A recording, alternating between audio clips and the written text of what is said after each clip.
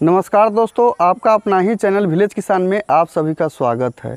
इस वीडियो में आप देखेंगे, ये जो देख रहे हैं, कटहल का पौध है, जो कि ये पौधा के लगाए हुए चार साल हो गया है और देख रहे हैं कि चार सालों में कितना बड़ा ये हो गया है। और इसमें कटहल जो है अभी नहीं लग रहा है। वैसे ग्राफ्टिंग वाले जो कलम होता है, उससे लगाया गया है। तो दो कटहल मैं लगाया था, एक ये लगाया था और एक वहाँ देख रहे हैं, केला के उस साइड जो है, वहाँ पे लगा हुआ है। ये कोया वाला कटहल है और वो जो है, कोफ्ता वाला कटहल है। तो दोनों का जो होता है, फ्रूटिंग अभी नहीं हुआ है, चार साल हो गया है, वैसे कलम वाला है। तो इसको फर्टिगेशन मैं करूँगा और इसे जो है कि जल्दी फ्रूट लेने के लिए, कटहल जल्दी लेने के लिए इसे फर्टिकेशन करेंगे। और किस प्रकार से फर्टिकेशन किया जाता है, वो पूरी प्रोसेस इस वीडियो में बताया गया है। तो उस प्रकार से करके अगर आपके पास भी कटहल का पौधा है या कटहल में फल नहीं आता है या बहुत देर हो चुका है तो उस प्रोसेस को कर करके और जो जैसे कि अभी इसको हम प्रोसेस करेंगे तो नेक्स्ट ईयर में जो होगा, अगले आने वाले साल में ये जो है कि फ्रूटिंग इसमें शुरू हो जाएगा। तो चलिए दोस्तों वीडियो स्टार्ट करते हैं। अगर चैनल पर पहली बार आए हैं तो चैनल को सब्सक्राइब करके और वीडियो को लाइक कर दें। दोस्तों, कटहल में फर्टिकेशन करने से एक फ़ायदा आपको और भी मिलेगी। अगर आपके पास कटहल का पौधा है और वो फल देती है, पर फल बहुत कम देती है तो इस प्रकार से फर्टिकेशन करने के बाद आपके कटहलों पर जो फल है, वो ज़्यादा आएँगे। तो ये जो पौधा आप देख रहे हैं, इसी को फर्टिकेशन करेंगे, यानी खाद जो होते हैं, इसमें डालेंगे। तो देख रहे हैं कि नीचे जो है, किसान भाइयों, हरा घास, बहुत ज़्यादा जो है वो जम गया हुआ है, यानी घास उगा हुआ है। तो सबसे पहले हम घास को देख रहे हैं कि मैं कुदाली के सहारे इसको निकाल रहा हूँ। तो ऐसे करके अगर आपके पेड़ों में भी घास लगा हुआ है जड़ों में तो हटा सकते हैं। और हटाने के बाद जो होगा फर्टिकेशन करेंगे तो अच्छे से फर्टिकेशन होगा। तो इस प्रकार से फर्टिकेशन करने के लिए आप जो होते हैं कि घासों को हटा ले और हटा करके, जैसे कि आपके पौधा जो होता है, उसके दूरी से चार से पाँच फीट दूरी तक जो होता है कि जो घास होगा, उसको आपको हटाना होगा और हटा करके इस प्रकार से जो देख रहे हैं, वो बिल्कुल साफ़ कर लेना है ताकि घास का जो मात्रा होगा, वो आपके पौधे के आसपास नहीं होना चाहिए। फिर उसके बाद क्या करेंगे? जैसे ये जो देख रहे हैं कि साफ़ अब हो गया है तो जो पौधा है, यानी कि कटहल का जो पौधा है, उस पौधे से दो फीट की दूरी पर एक गोल सर्कल में हम देख रहे हैं कि इस डंडे को दो फीट के जो जगह होता है, वहाँ पर माप करके एक सर्कल यानी गोल घेरा जो होता है, वो खींचेंगे पौधे के चारों साइड से। इस प्रकार से यानी जो इसके अंदर वाला हिस्सा होता है, उसको हमें नहीं खोदना है। और जो बाहर वाला हिस्सा होता है, उसको हमें खुदाई करना है। तो बाहर वाला हिस्सा हम दो फीट रखेंगे। तो बाहर के हिस्सा जो होता है, वो भी दो फीट माप लेते हैं, जो सर्कल हम दिए थे। उस सर्कल से एक दूसरा सर्कल और बनाएँगे। उससे बारह दो फीट हटा करके इस प्रकार से। और ऐसे करके चारों साइड से अराउंड लगा करके ज्वाइंट कर देंगे। जो छोटा वाला सर्कल होता है, उसे भी, और जो बड़ा वाला सर्कल होता है, उसे भी। छोटे वाले सर्कल को छोटे वाले सर्कल से जोड़ेंगे, और जो बड़े वाले सर्कल है, उसे बड़े वाले सर्कल से जोड़ देंगे। तो जो छोटे, ये जो देख रहे हैं, यहाँ से पौधे से जो दूरी होता है, छोटे वाला सर्कल को उसको छोड़ करके, और बीच में जो होता है, उसको हमें खुदाई करना है। पौधे वाले जो जो जड़ का हिस्सा होता है, वो नहीं खुदाई करना है और जो छोटे और बड़े वाले सर्कल के बीच का जो हिस्सा होता है, उसको खुदाई करेंगे। तो छोटे वाले जो सर्कल दिया था, उस पर इस प्रकार से मरका जो लगाया था, उसको चारों साइड से खुदाई कर लेंगे, ताकि आपका पौधा जो होगा, वो सेफ़ रहेगा और उसके दो फीट के दूरी तक जो होता है कि हम लोग खुदाई एक फीट गहरा में इसको करेंगे। तो इस प्रकार से जो देख रहे हैं कि मैं खुदाई कर रहा हूँ, ऐसे खुदाई करके एक फीट गहरे में इसको खुदाई कर लेना है और दोस्तों, इसमें देखते रहे कि अगर रूट निकलता है कोई मोटा सा रूट तो उसको ना काटे, यानी उंगली के बराबर का कोई रूट निकलता है जरे निकलता है उसको, ना काटे। अगर पतला रूट होता है तो कोई बात नहीं, अगर थोड़ा पतला होता तो कट जाता है तो चलेगा। तो इस प्रकार से जब ये तैयार होता है, तब इसमें फर्टिकेशन करने की बात आती है। तो फर्टिकेशन करने के लिए मैं खाद रखा हूँ।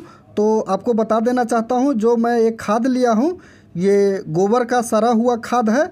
तो इस प्रकार से जो देख रहे हैं कि मैं खाद को भुरभुरी बिल्कुल बना लिया हूँ तो ये खाद किस प्रकार से बनाया जाता है? अगर ऐसा खाद आप बनाना चाहते हैं, ये जो होता है बर्मी कंपोस्ट से भी पावरफुल खाद होता है तो इस खाद को बनाने के लिए किस प्रकार से बनाया जाता है? इस वीडियो का डिस्क्रिप्शन में लिंक है, वहाँ से जा करके देख सकते हैं। और ये जो देख रहे हैं, मैं कार्बोफ्यूरान लिया हूँ, ये कीटनाशक है तो मैं इसके अंदर कीटनाशक भी ऐड करूँगा ताकि इसके नीचे जो जड़ होता है, उसमें कीट लगा होता है, वो भी नष्ट हो जाएगा। और ये भी कीटनाशक है तो क्लोड पायरिफोस जो है, ये है पाउडर फॉर्म में।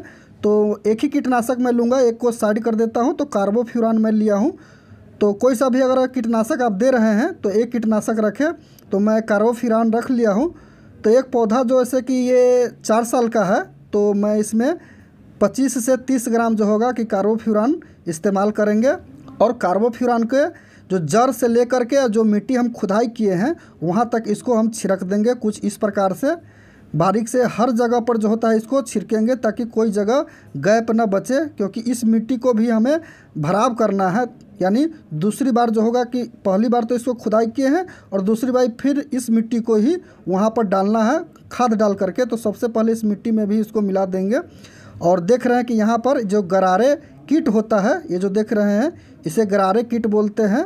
आपके उधर इस किट को क्या बोलते हो कमेंट करके आप हमें ज़रूर बताएँ। तो इस प्रकार के जो भी किट होगा, वो नष्ट हो जाएगा। तो इसीलिए जो होता है, कीटनाशक इसमें देना ज़रूरी होता है। तो आप खुदाई करके चाहे तो एक दिन के बाद भी फर्टिकेशन कर सकते हैं, या खुदाई करने के एक घंटे के बाद आप फर्टिकेशन कर सकते हैं। तो देख रहे हैं कि मैं गोबर का जो खाद लिया था, ये सरा हुआ गोबर के खाद है।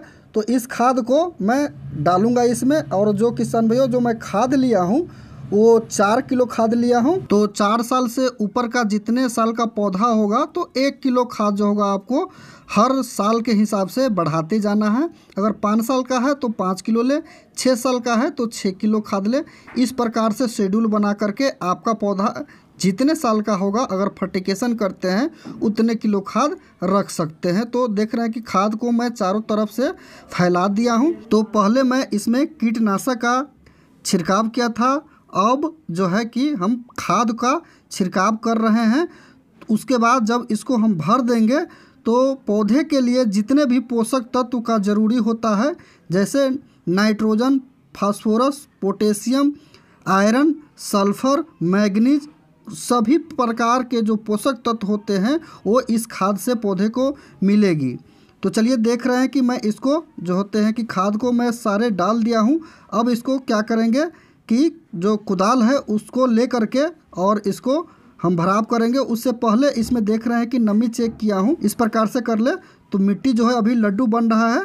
तो इसमें नमी जो है अभी बरकरार है। अगर ये ड्राई यानी सूखा होता तो इसमें पानी की आवश्यकता पड़ती तो पानी डाल करके और फिर मिट्टी का भराव करते। तो नमी इसमें अभी बरकरार है तो पानी नहीं डालेंगे। चलिए इसको अब भराव करते हैं। तो भराव इस प्रकार से एक साइड से मिट्टी गिराते जाना है दूसरी साइड की तरफ़। तो ऐसे करते अगर आप जाते हैं एक साइड से दूसरी साइड की तरफ़ तो ऐसे घूम करके आप जहाँ से स्टार्ट किए रहते हैं, वहाँ पर घूम करके आ जाते हैं। तो चलिए इस प्रकार से मिट्टी जो होता है वो भराव कर करके और फिर जो मिट्टी आप भराव करते हैं, उसको पैर से दबाना भी होता है, ताकि जो आप फर्टिकेशन किए हैं, उसका जो होगा कि दबाना बहुत ही ज़रूरी होता है, ताकि जो जड़ होता है, वहाँ तक ये ढंग से चिपक सके और पहुँच पाए। जो मिट्टी है, उसका नमी बना रहे, ताकि जो पौधा होता है जड़ से जो पोषक तत्व होता है लेने में उसको मदद होगी। मिट्टी अगर टाइट होगा तो इसलिए इसको भराव करके और पैर से दबाना बहुत ही ज़रूरी होता है। तो किसान भाइयों, दबाना आपको कहाँ है? जहाँ पर आप गड्ढा खोदे होते हैं, यानी जहाँ पर आप खुदाई किए होते हैं, वहाँ पर दबाना बहुत ही ज़रूरी होता है, क्योंकि वहीं पर मिट्टी जो होता है वो हल्का हो गया होता है। इसलिए वहाँ पर ज़्यादा मिट्टी रख करके और ऊपर से पैर से दबाते हैं तो नीचे का मिट्टी जो होगा वो सख्त होगा तो नीचे नमी का मात्रा जो होगा वो मेंटेन करके वो मिट्टी रखेगी। और जब दबा करके बिल्कुल तैयार हो जाता है, इस प्रकार से दबा दबा करके जब तैयार होता है और समतल हो जाता है, एक समान जैसे कि ज़मीन हो जाता है, तब उसमें अगर सरा हुआ खर पतवार है तो उसको ऊपर से आप डाल देते हैं तो उसके नीचे जो मिट्टी होता है, उसमें नमी जो होता है, वो बरकरार रहता है। काफ़ी दिनों तक, यानी महीने, डेढ़ महीने तक इसमें नमी बरकरार रहेगा। तब तक आपका जो फर्टिकेशन किया हुआ, जो प्रोसेस होता है वो पूरा हो गया होता है। डेढ़ महीना के अंदर जो होते हैं, जो पौधा होता है, वो सभी प्रकार के पोषक तत्व जो होता है, वो लेना स्टार्ट कर देते हैं। जैसे जैसे धीरे धीरे पोषक तत्व जो होगा, आपका पौधा लेने लगेगा वैसे वैसे आपके पौधे का जो वृद्धि होता है, बढ़ने वाला वो भी होगा। और इसमें फ्रूटिंग और फ्लावरिंग का स्टार्टिंग हो जाता है। जब फ्लावरिंग और फ्रूटिंग होने लगता है, इसमें फ्रूट जो होता है, आना स्टार्ट हो जाता है। तो देख रहे हैं, इस प्रकार से उस पौधे में फ्रूट लग करके वो फिर आएगा। तो ये मैं किसी दूसरे पौधे का फ्रूट जो है, वो आपको दिखा रहा हूँ कि ये उदाहरण के तौर पे आपको बताया हूँ कि इस प्रकार से फ्रूट लगेगी आपके पौधे में।